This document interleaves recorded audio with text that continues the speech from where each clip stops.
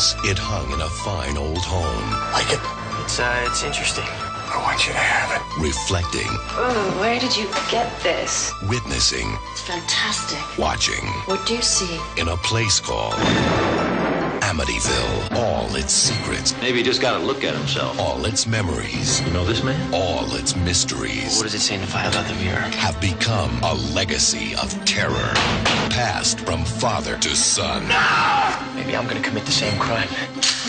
Maybe it's my destiny. Amityville, a new generation. Starring Terry O'Quinn of The Stepfather. And David Naughton of An American Werewolf in London. Come back here! From the special effects team that brought you the original Amityville horror. And the blockbuster hit, The Hunt for Red October. Through this looking glass. A journey beyond fear. Amityville, a new generation. I'm proud of you, son. The image of evil.